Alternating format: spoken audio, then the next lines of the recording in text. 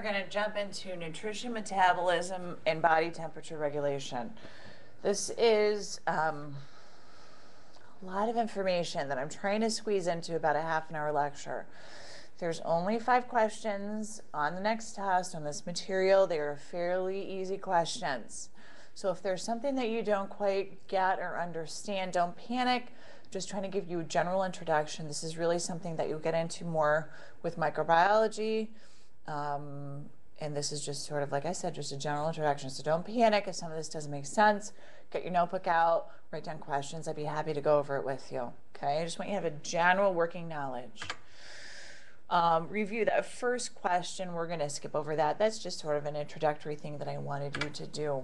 Okay, energy. We all know energy, ATP, adenosine triphosphate. So brief little review. Okay, adenosine triphosphate.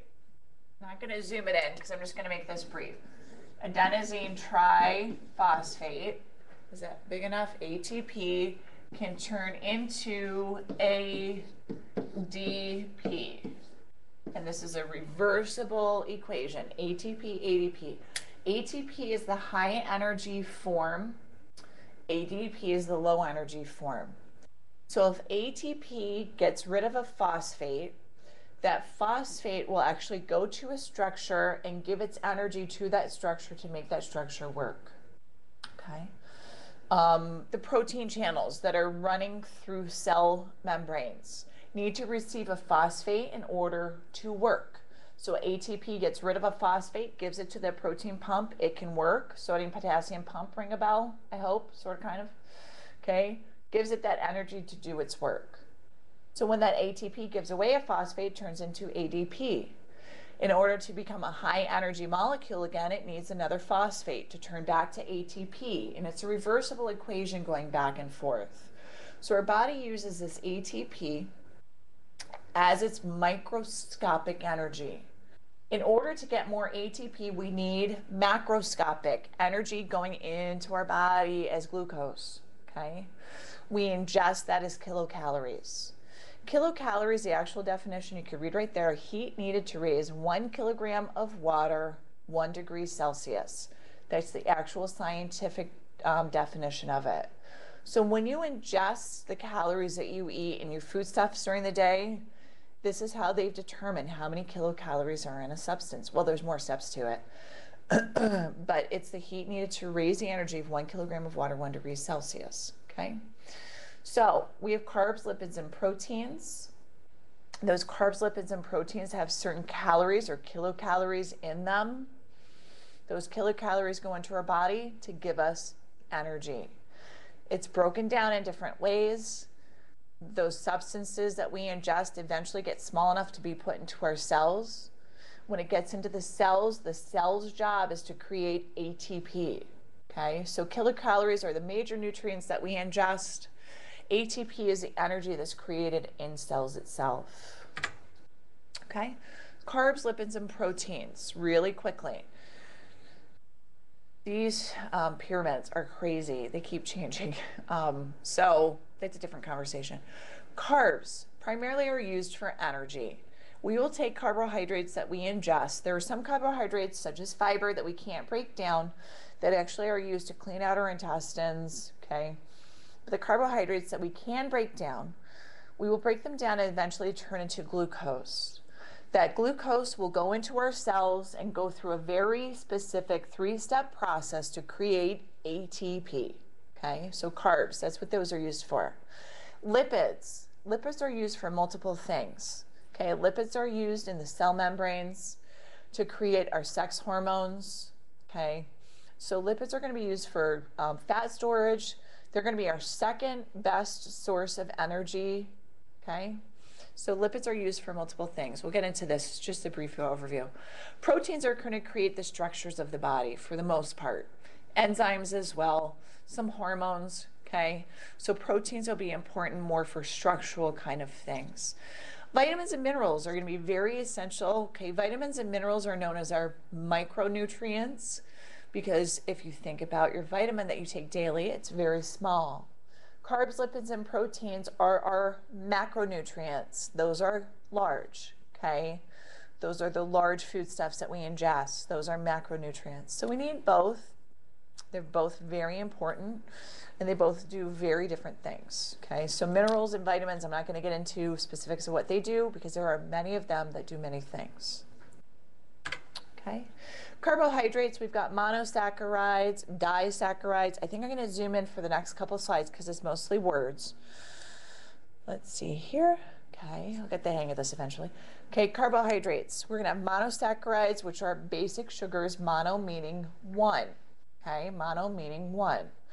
Disaccharides meaning two. So if we take two glucose units and put them together, that is a disaccharide. That is more complex.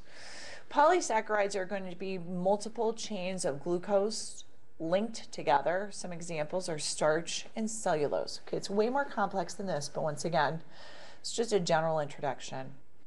We break these saccharides down to glucose. That's our body's main goal because glucose is going to be the guy that we want to put into cells to create ATP. Okay? ATP will create energy for the blood to be distributed to the whole body. ATP creates energy for the brain, very important. Our body will sacrifice glucose to other organs in order to save it for the brain. We'll also store glucose in the liver as glycogen. Glycogen is the stored form of glucose. We can also convert glucose into fat. We'll store it into the subcutaneous or below the tissue. I'm going to sneeze. Excuse me. Subcutaneous tissues is fat. Approximately 125 grams per day of complex carbs are required this complex carbs. Okay, that is not white breads, that is not sugars. Okay, you should try to have complex carbs because they're harder to break down. If you ingest simple sugars such as sucrose, which is going to be glucose and fructose stuck together, don't worry about it. I'm just giving some examples. If you ingest those simple sugars, your body absorbs it really quickly. It spikes your blood sugar, you have energy, for a little bit of time and then you drop out because your body will release a ton of insulin. Then the blood senses the insulin, or the body senses the insulin in the blood and thinks, oh, we need more sugar for that insulin. And you get into that bad cycle. Okay? So carbs are good as long as you keep it to complex carbs, which are more complex. They're harder to break down, so your body takes a longer period of time breaking down the glucose off of it and absorbing it rather than absorbing a bunch of sugar all at once. Lipids, okay, dietary sources, there's neutral fats, there's saturated fats, there's unsaturated fats, and there's essential fatty acids. Okay, saturated fats are the bad fats. Saturated fats are going to be animal fats. They're really compressed together, so they're thick fats like lard. Your body ingests them, and the body will actually create inflammatory responses against them. Okay, so saturated fats, you want to keep at a very, very low level. Unsaturated fats, such as monounsaturated fat and polyunsaturated fat, are the good fats.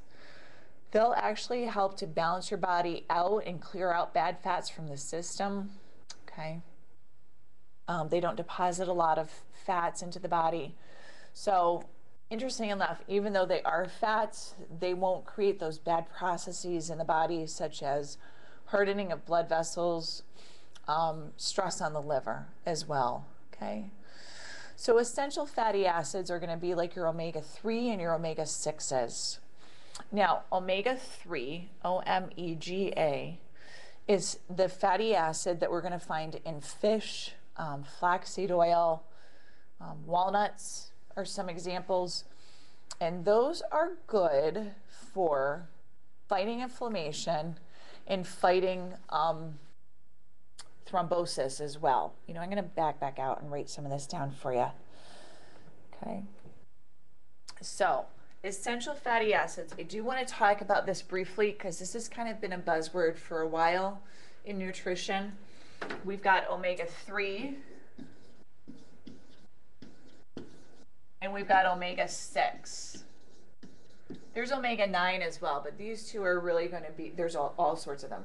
But the three that are really going to be essential in our diet, and what essential means is we've got to ingest them. Our body cannot make omega-3 and omega-6. Essential nutrients means it's something that we have to ingest. So omega 3 is going to be fish, um, walnuts, just to give you a few examples, um, flaxseed. Okay. Omega 6s are found uh, potatoes, white bread, okay, corn. So a lot of the American diet is filled with omega 6s. And the um, usual American diet tends to be very lacking in omega 3. This is something that's become quite the buzzword lately because omega 3 is anti um, yep, anti-inflammatory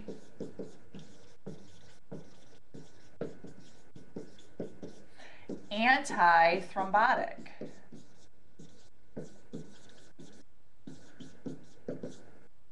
Sounds good, right? Anti-inflammatory means it keeps inflammation down. Anti, whoops, sorry, thrombotic means it fights off blood clots. Well, omega-6 is pro-inflammatory, pro-thrombotic. Sounds bad, doesn't it? Here's the thing, there has to be a balance of both in Alaska, where they tend to eat a lot of fish because it's their primary source of protein, okay, they have a lot of omega 3. They have so much anti inflammatory and anti thrombotic that actually, if they were to cut themselves, they could bleed. But I'm giving you an extreme example. Okay, giving you an extreme example. So, omega 3 is good in the right portions. We just happen to eat a lot of omega 6s. We have a lot of inflammation, we have a lot more of blood clotting, okay? um, than people, say in Alaska, do, Japan, right? Because they tend to have a, a, strong fish diet as well. So omega 3, and omega 6 needs to be in a good balance. Omega 3 is a great supplement if you don't eat these types of foods to help calm down inflammation. Systemic inflammation is a cause of so many problems that we're finding. Okay, so it calms down that systemic inflammation, calms down blood clots as well.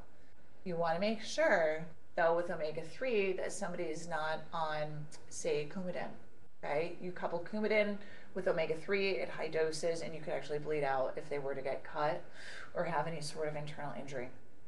Okay, so essential fatty acids, omega-3, omega-6 are going to be the major ones, and these are the breakdowns of what they do.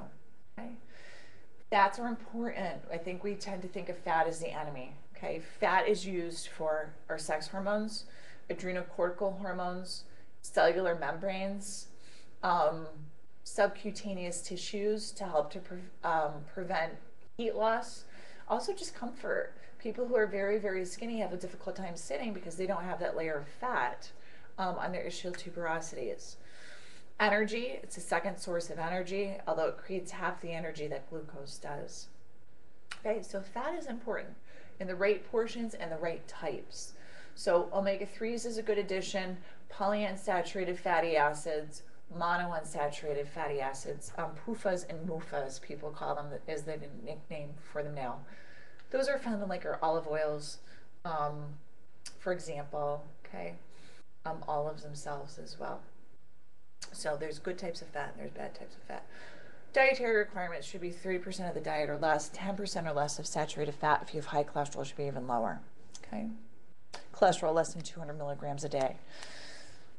Once again, that's a guideline. That's a guideline.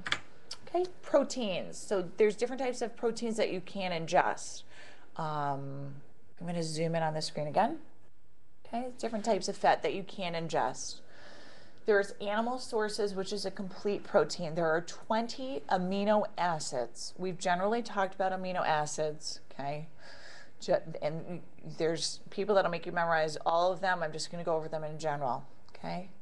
There are nine essential amino acids. So once again, that means you need to ingest them. Okay. There are 11 non-essential, which means your body can actually make them. Animal proteins has all 20. It's a, called a complete protein because it has essential and non-essential amino acids. It can give you all the amino acids you need in order to make the structures in your body, enzymes, um, hormones, etc. Now, vegetable protein. Vegetable protein is not a complete protein, but you can do combinations. One of the famous famous combinations, excuse me, is rice and beans. Okay, rice and beans combined together have all 20 amino acids. Okay, and all nine of those essential amino acids. Uses in the body is primarily building blocks, enzymes. Okay, it, you really don't want to go into energy with malnutrition. If you're starting to tap into proteins, you're going to start eating away at the tissues and the muscles of the body. Okay, that's where nitrogen balance comes in. Now, nitrogen is one of the byproducts of the breakdown of proteins. Okay, if we were to actually look at the chemical makeup of an amino acid, has nitrogen in there. So a positive nitrogen balance means you're ingesting enough amino acids to give you higher levels of nitrogen than stored in your body. Negative nitrogen balance means you're not getting enough proteins. You're starting to get lower levels of nitrogen. So you're not getting enough proteins to help support the tissues of the body. The tissues will start to break down. Okay. We want to be in positive nitrogen balance. We want to be getting enough protein to support the structures of the body so our body doesn't have to eat away at the tissues for energy and also we can rebuild the tissues of the body. Okay. Hormonal controls can accelerate protein synthesis. Great examples, growth hormone, also testosterone in males. Okay. Dietary requirements about 10% of your diet. Vitamins are needed in small amounts for good health. They act as what are called coenzymes. They work with enzymes to facilitate processes in the body. Found in a variety of foods. Great source for vitamins, of course, is going to be fruits and vegetables. Um, milk is going to be great. We've got calcium, magnesium, vitamin D, and fortified milk. Okay. The major groupings are going to be fat soluble and water soluble. Water soluble are going to be Bs. There's a whole bunch of Bs. Okay, there's a whole bunch of Bs people group them together as what's called a B complex and C. These are absorbed with water, except for B12. We talked about B12 needs that intrinsic factor from the stomach. If they don't have intrinsic factor, they have to have injections.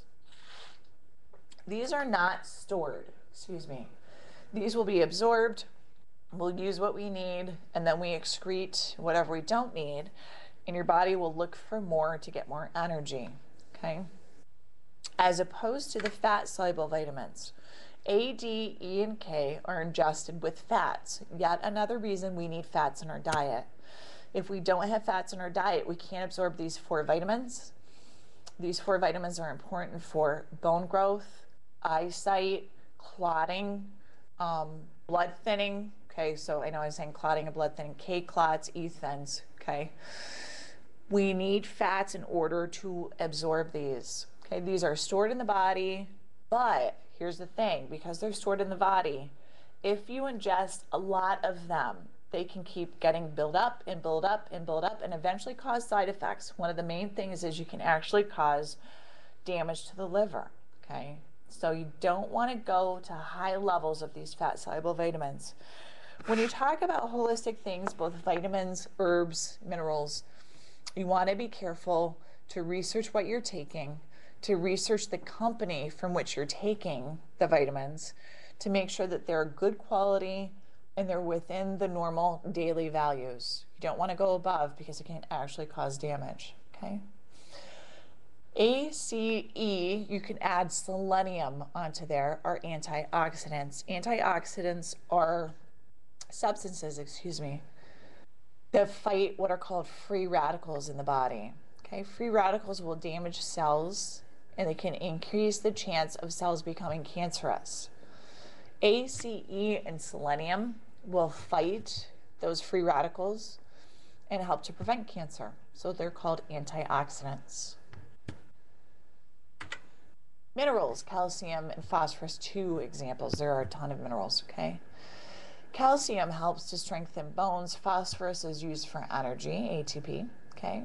Help to make the body function. Iron is going to aid the bonding of heme to hemoglobin. What that does is creates um, a good bond to carry oxygen out to the tissues of the body. Sodium chloride and potassium are our electrolytes. Calcium, phosphorus, and magnesium help to harden bones. Okay, so here's just a few examples. I've tried to sort of pick out the most important ones. They're all important, but the major ones for um, the function of our body. Metabolism. Okay, this is a shout back from A&P1. Metabolism is the generalized term for biochemical reactions that either build up cells or break them down. That's basically all we're doing in our body. Build up cells, break them down. Build up cells, break them down. Okay? Anabolism is building cells up. Okay? Anabolic steroids are steroids that make muscles bigger. So anabolism is going to be forming larger molecules to build muscle, to build structure, or to store energy. So anabolism could also be the creation of glycogen from glucose. Okay, so it doesn't have to be the creation of bigger muscles. It could be the creation of any sort of molecule that will help the body to function better. Catabolism is when molecules are broken down. So if we turn, if we um, get bits and pieces of glucose off of glycogen, that would be catabolism. If we break down bones in order to rebuild new bone, that's catabolism. Okay, so anything that breaks substances down. Okay, cellular respiration. Cellular respiration is the process to form ATP. Cellular respiration is the process to form ATP. In order to create ATP, we need glucose and oxygen. Okay, if we're going to create large amounts of ATP. We can also create it step by step through phosphorylation. We're going to go through this. Okay, so cellular respiration, okay, is helping the creation of ATP. Oxidation reduction reactions. Okay, this is this gets a little crazy. Oxidation reduction reactions is going to be the reactions. Okay, this is how I want you to think of it. I really just want to go over this very, very briefly. Oxidation reduction reactions is going to be the movement of electrons, okay? The movement, write this down, the movement of electrons that helps to create energy. So this is going to be the step before the creation of ATP, okay? Well, it could be also the creation of ATP, but oxidation reduction reaction is going to be the movement of electrons that helps to create energy. Okay, so you could even cross off those, those paragraphs above. I really want to simplify this. Okay, the movement of electrons to create energy. Oxidation is loss. See that oil rig there? Oxidation is loss of electron. Reduction is gain of electron. Okay, so oxidation reduction reaction is going to be the movement of electrons to help to create energy. Oxidation is loss of an electron. Reduction is gain of an electron. Okay. I know this is confusing. I'm trying to take a really complex subject and make it really simple. Once again, like I said, there's only going to be five questions on your exam about this. So this movement of electrons creates energy.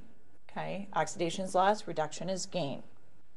So if we think about, let me get the screen back out again. If we think about ATP,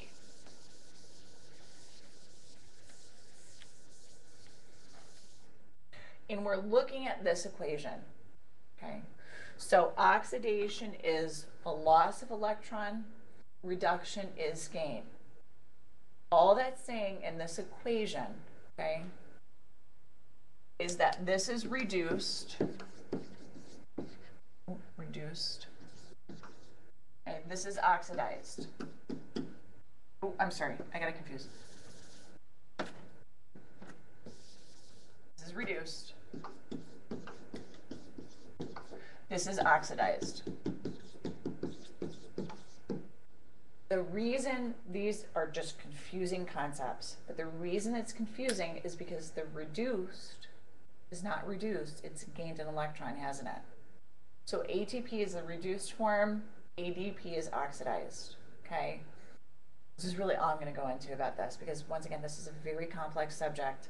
Um, but what I want you to understand is reduced is when you gain an electron, oxidized is when you lose it. This happens to create the transference of energy. That's as far as we're going to go with this. Okay, so oxidation reduction reactions, these happen all the time in the body. They create energy in all sorts of the parts of the body. It's the movement of electrons to create energy. Okay, reduction is gain, oxidized is lost. Electrons. Okay, done. That's all we're going to do with that. ATP synthesis. Okay, ATP synthesis can happen in different ways. If you look at the next slide, the direct transfer of phosphate. So if we were to do ADP, add a phosphate, turn it into ATP, is going to be substrate level phosphorylation or direct phosphorylation. And you're just adding a phosphate and creating an ATP. This happens all the time in the body, but it only creates what? One ATP. Okay, so you're taking a phosphate, adding it to ADP, you're creating ATP, one um, ATP at a time. So it's not really um, efficient, is it? There's another step um, that we need to talk about. There's actually three steps in it. There's glycolysis, the Krebs cycle, and oxidative phosphorylation. Okay? So glycolysis, Krebs cycle, citric acid cycle is another name of it. And oxidative, oxidative, sorry,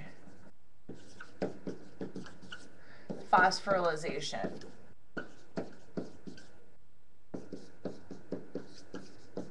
Okay, oxidative phosphorylation.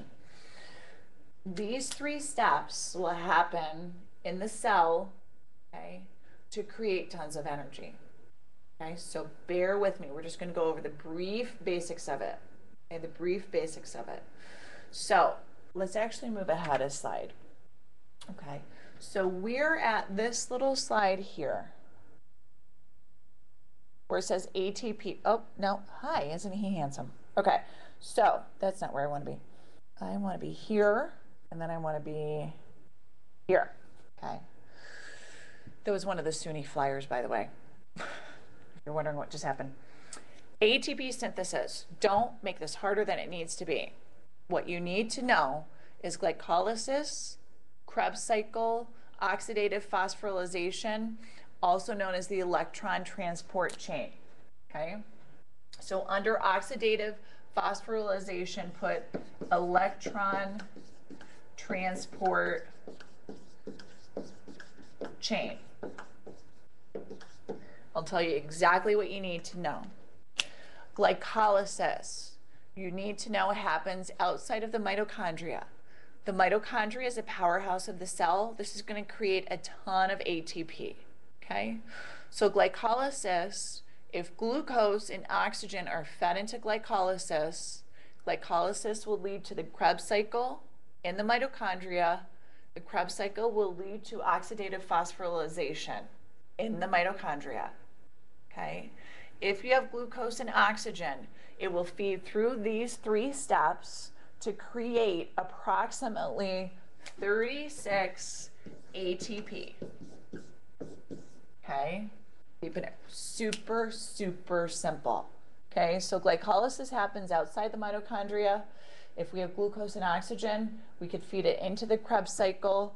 The Krebs cycle will feed products into the electron transport chain okay, causing oxidative phosphorylation, creating 36 ATP. Done. That's as far as we're going to go with this. Because it's, it's, this could be a whole semester class on its own. I just want you to get the gist. And the main gist is the three steps. You need to know that you need glucose and oxygen feeding into the mitochondria to create this 36 ATP. You're going to hear different ATP in different areas. I'll explain to you why I use 36 in a little bit. Okay. And it creates a ton of ATP as opposed to adding one at a time, one at a time, okay? So that's it. That's all I want you to know. So don't panic, okay? So carbohydrate metabolism, whew, let's get back to simple stuff. Carbs are turned into glucose. Okay, so we have these larger carbohydrates. They're broken down. They're turned into glucose because once in a, again, we need glucose to feed into this whole cycle to create energy in the cell. Okay? Carbs are passed into the cells with facilitated diffusion with insulin. Okay? That's how they get into the cells. I don't know why I asked that question. Okay? So I could just you could just just cross all this off. Okay? I want you to know the three steps glycolysis, Krebs cycle, electron transport chain. I want you to know glycolysis is outside of the mitochondria. Krebs cycle, electron transport chain are going to be inside of the mitochondria. If we have glucose and oxygen feeding into them, they're going to create 36 ATP. Done. Okay, so you could cross this whole thing off. Um, we're just not going to get that in depth into it. You can do that at micro. Okay. Glycogenesis, glycogenolysis. This is going to sound like a nightmare. It's very, very simple. Genesis is the first book of the Bible. It's the creation of the world. Okay, glycogenesis is the creation of glycogen. Lysis is the breakdown, the destruction of something. Glycogenolysis is the destruction of glycogen. Okay, so I'm going to zoom in on the screen now. Glycogenolysis is um, the creation of glycogen either from glucose or fat. Okay. Glucose is stored in long chains in the liver and skeletal muscle. Glycogenolysis is the splitting of stored glycogen, the breaking down of glycogen to release glucose. Good. Gluco, glu which represents glucose, neo, which is new, genesis. This happens if you don't have enough glucose in your bloodstream. New glucose can actually be formed from glycerol, which is um, the backbone of fats. Okay, so glycerol is part of fats and amino acids, excuse me. So you can actually convert fats and amino acids back to glucose, but it takes a lot of energy to do so. That process is called gluconeogenesis. It happens if we don't have enough glucose in the bloodstream. Lipid metabolism, okay, um, 4 by 9 by 4. So every um, gram of carbohydrates that we ingest, it has 4 kilocalories per gram, okay, 4 calories per gram. Every gram of fat we ingest has 9 kilocalories per gram. Every gram of protein, I forgot where it was, has four kilocalories per gram. That's what that four by nine by four. So fats are going to have more calories per gram, is what I'm pointing out there. Okay. Oxidation of glycerol, which is fat. Okay, part of part of fat. Okay, that glycerol, which is part of fat, can enter the Krebs cycle. It can revert back to glucose. Okay, but the thing is, it uses energy to create energy. So it only forms half the ATP from the Krebs cycle. This is why I use 18. If we pump in, some people say 38, some I've read even 34, because 36 is the number we're using for energy from glucose going into the Krebs cycle. 18 will be from fats. Lipogenesis and lipolysis, once again, genesis is creation of stored forms of fat. We store fat as triglycerides, okay? That means there's going to be a glycerol backbone with three um, fatty acid chains connected to it, triglyceride, okay? Triglycerides are how we store fats in our subcutaneous tissue. It, it occurs when glucose or, or glycerol levels are high, we have excess to deposit breakdown of triglycerides will break down into that glycerol and fatty acids, and it occurs when carbs are low. We'll tap into the fat. Okay, that's the whole premise of Atkins. As you lower carbs, you tap into fat stores, you eat up your fat stores. Ketogenesis. When we don't have enough carbohydrates, or we can't get those carbohydrates into cells, okay? So ketogenesis happens is when we don't have enough glucose in the body or we don't have insulin to get glucose into the cells. The body will next tap into fats to create energy. Okay? So we're going to simplify this once again. Okay, simplify this. Cross off the first two paragraphs.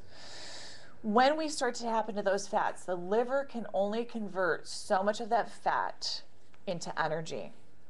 After the liver sort of burns out and it can't convert fat into energy, it'll start to create acids called ketones. That's where the process of ketogenesis happens. Okay? These ketones are acidic. They're actually turned into acetone eventually and creates that, that fruity smell in people's breath, um, diabetics, when they go into ketogenesis. They'll get a fruity smell in their breath, okay? Now, it causes a metabolic acidosis. So their bloodstream starts to become acidic. So they start to hyperventilate. And if you think for a minute, you should know why. The respiratory mechanisms start to kick in to counterbalance metabolic acidosis. Carbon dioxide's acidic. Carbon dioxide is acidic. They hyperventilate to try to get rid of CO2. With getting rid of that CO2, we'll get rid of acidity. It'll calm down that metabolic acidosis. Okay, so ketogenesis causes what's called ketoacidosis. Keto, K E T O, acidosis, A C I D O S I S. The ketoacidosis is because the liver can only convert so much fat into energy, then it starts to turn into an acid called ketones. Those ketones are acidic, causes metabolic acidosis, can cause the creation of acetone, creating that fruity smelling breath.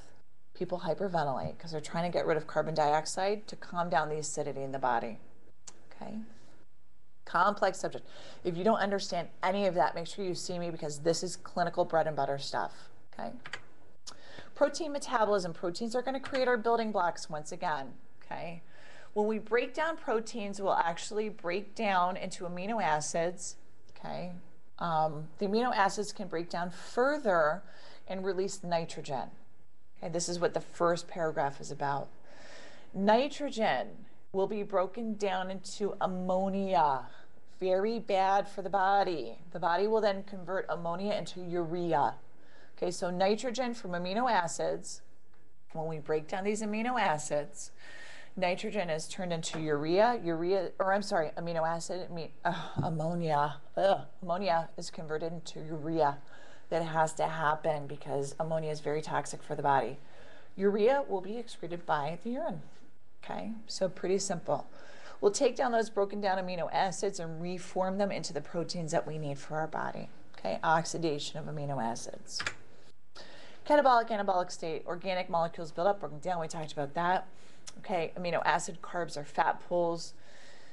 There's also free supplies of all these substances in the body. So of course, if you ingest a lot of fat, you can put it into your fat pool and store it for later. If you absorb a lot of carbs, you can do the same thing. Amino acids, same thing. But if you run into a, de a deficit, you start to move into catabolism, where you start to break structures down, okay? So it's a fine balance, isn't it? You don't want to eat or ingest too many structures or you'll grow, you know, and gain too much weight. You don't want to ingest too little or your body will start to break structures down. Okay. Absorptive states, eating and digesting for about four hours. Anabolism is bigger or better or more than catabolism. Glucose is going to be the major source of energy. It's regulated by insulin. We got that from the beta cells. Okay. Diabetes mellitus is when inadequate insulin is produced or insulin receptors are abnormal. There are two types, and I sure would like to talk to you about that. So if you're bored, take a break, pause the tape, come back because this is important clinical stuff. There are two major groupings of diabetes. Okay, this is what that last little phrase on your notes says, talking about diabetes could either be the lack of insulin or the ineffectiveness of receptors to insulin, two types. So there's insulin dependent diabetes mellitus. Let me make sure I'm writing big enough. Insulin dependent diabetes mellitus. Okay. IDDM. This happens when people generally are young. There's several theories as to what happens, but their islets of Langerhans cannot release insulin effectively anymore. Their islets of Langerhans cannot release insulin effectively anymore. So there's been some sort of autoimmune response, genetic response that's destroyed their islets of Langerhans. They now become insulin dependent they need to take injections of insulin or have a pump. Okay? So this tends to be young people. They have that acute onset of polydipsia, polyphagia, polyuria, where they're ingesting food, they're ingesting fluids, they're urinating frequently, but they're very thin. Okay? They have to get injections of insulin or they cannot survive. Okay? Non insulin depend, whoops, that's an N. So non, ooh, sorry about that. Non insulin dependent diabetes mellitus, um, diabetes mellitus is generally people who are older or people who are overweight. And what happens is their pancreas still releases insulin, but because they're heavier, the fat that circulates through their system actually makes the receptors for insulin ineffective on cells. Okay, so people with non insulin diabetes mellitus have an ineffective receptor for insulin due to the weight gain. So, obviously, if they lose weight, guess what happens? They don't become diabetic anymore. Their body's able to use the receptors effectively. It's that um, fat that's in their system which makes the receptors ineffective okay, actually start to attack their receptors. So in um, insulin dependent, non-insulin dependent diabetes mellitus. Okay. Post-absorptive state, most of this you can sort of read on your own because this is stuff that we have talked about. Um, the only thing that I'm going to talk to you about is glucose sparing. Okay, so the brain will use glucose for the longest period of time. It will take glucose from the rest of the body so it can use it for the longest period of time. Okay, because the brain is so metabolic and needs glucose and oxygen so much. Um, and the brain is the most important thing really for the body. I mean, the whole body is important, but keeps everything else going, right? Okay, so glucose sparing is the brain will use glucose to the last minute um, over the rest of the structures of the body. The rest I'm going to let you sort of read through on your own. It's all stuff on that post absorptive state that we've talked about already. Metabolic role of the liver, it does it all does it all. It's unbelievable. Cholesterol metabolism, carb metabolism, fat, protein, stores vitamins and minerals. Okay. Unbelievable. Liver is very important. Okay, cholesterol metabolism. So, um, the, the first little bit you could read, read through on your own. Bile salts, vitamin D, steroid hormones, okay, are all um, all require cholesterol um, comes from the diet. Obviously, your liver will also produce cholesterol. Some people's livers produce more cholesterol than others. So no matter what they eat, they still have high cholesterol levels. Kind of a negative thing. Insoluble in water. Now, what the liver does, this is the little section that I want to talk to you about, is it will take fats that we ingest and package it with proteins. So that way, the body can send those fats through the bloodstream and the fat won't separate out in the bloodstream. Okay, because so, once again, water, primarily what our plasma is made up of, and oils will separate if they are not emulsified. So the liver will take the fats that we ingest, associate it with protein, and then it will send it out to the body. Okay, those are called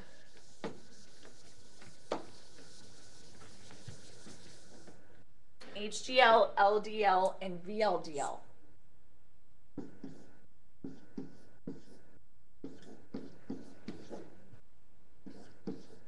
This is right in the notes, okay? HDL, LDL, VLDL. So HDL is high density lipo fat proteins. Proteins. So we're bunching together proteins and fat. LDL, low density lipoproteins. I'm not going to rewrite that. You can get that. Okay. VLDL, very low density lipoproteins. Okay, also known as, this probably rings more of a bell, triglycerides. Just checking to make sure you can read that. Okay, also known as triglycerides. Okay, so the numbers are right in your notes. You want HDL to be 60 milligrams per um, 100 milliliters of blood or above. LDL is going to be 160 or below. Okay, VLDL, we don't really wrap that in there. Okay, but let me tell you the difference between these. High density lipoproteins. Now, protein is denser than fat. Protein is denser than fat. So a high density lipoprotein is going to be mostly protein.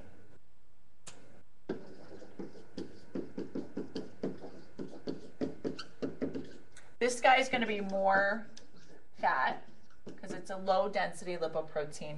Very low density lipoprotein is going to be pretty much all fat, you know, except for a little bit of protein. Not all fat, mostly fat.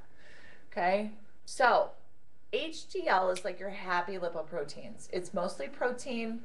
It'll go out into the tissues. It'll seek and destroy for excess fat, scoop it up, take it back to the liver to be excreted. Okay, so high density lipoprotein is our happy lipoprotein. It'll go out into the body, scoop up excess fat, and take it back to the liver to be excreted. Low density lipoprotein is going to be more fat. Low density lipoprotein will take fats out to the tissues, which is necessary, but only in a certain amount.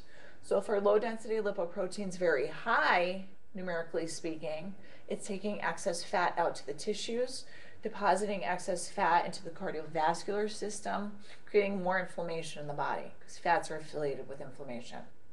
Okay? VLDL or triglycerides, bad, bad, bad. We want to keep those low.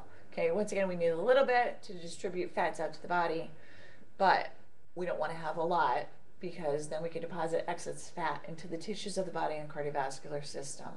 Okay? If you get excess fat into the cardiovascular system, it can put stress on the heart. It can clog arteries. Okay? It can cause inflammation of those arteries and cause hardening of the arteries. So we want to keep the fats at a low level. Chylomicrons we talked about. That's the last thing on this slide. Those are lipoproteins that our intestines will absorb and send through the lymphatic system right out to the body tissues. Okay. It says from the small intestines to liver. That's not right. It goes from the small intestines to the um, to the left subclavian, so not to the liver. Okay, chylomicrons go out to the body. Factors regulating plasma control levels. Okay, fat intake, obviously. This is the next slide. Saturated fat's bad. That's going to definitely increase your LDL and your VLDL. Unsaturated fat helps to remove cholesterol. So those PUFAs and MUFAs, um, olive oil is a great example, are really good at helping to clear those out. At certain levels, you don't want to eat a lot. Omega-3, we talked about that. Okay, helps to decrease inflammation, decrease clotting in the blood. Trans fatty acids, they've actually eliminated most of the trans fatty acids in food. Trans fatty acids are very bad. They spike LDL, they stress the liver. Um, so trans fatty acids, you definitely do not want to ingest those.